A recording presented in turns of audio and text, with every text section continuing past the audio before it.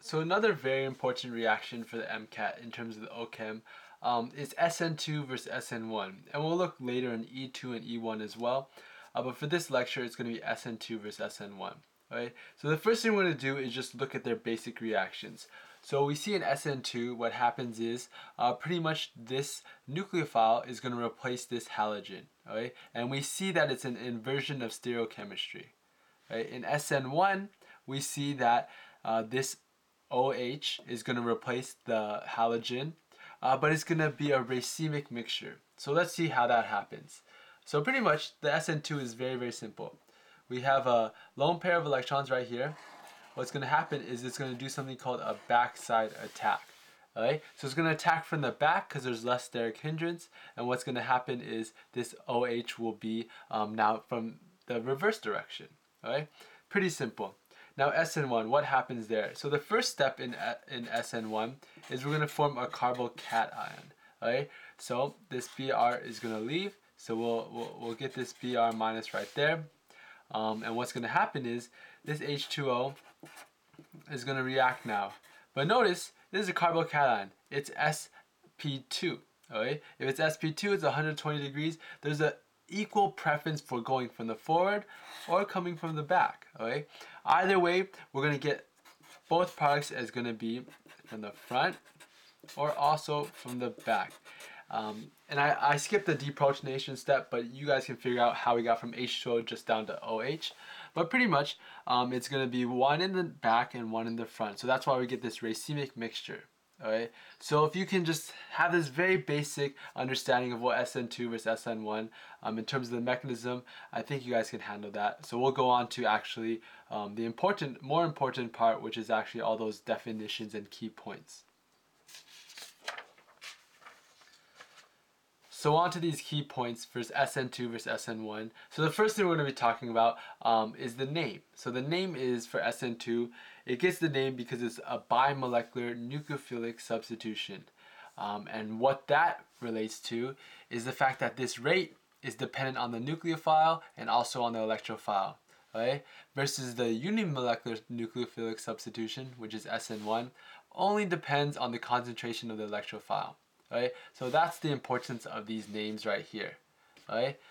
So in terms of stereochemistry, we saw that um, it was inverted because of the backside attack in SN2, um, and it was a racemic mixture in SN1 due to the carbocation formed.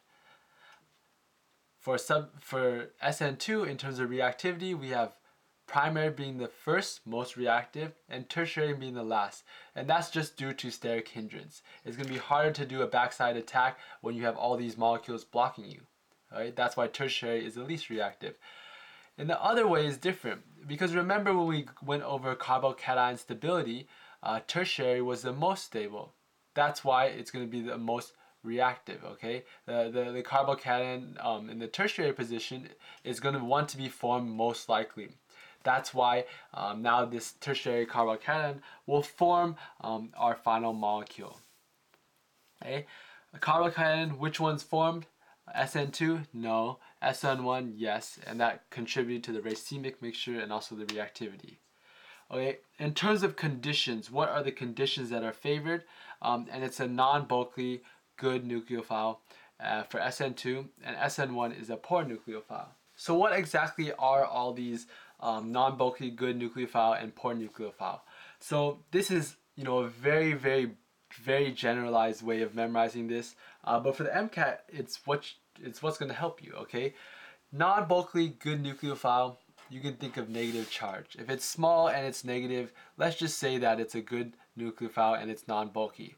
Uh, poor nucleophile is going to have neutral charge generally. So it's going to be neutral and it's going to be rather small. Okay, so if we see some examples of that, uh, we see here OCH3 minus, CH3 minus, the halogens, um, OR minus, OH minus are going to be non-bulky good nucleophiles. Um, poor nucleophiles, neutral generally H2O, um, alcohols. Right? So that's very that's that's a warning right there that is, is very very general.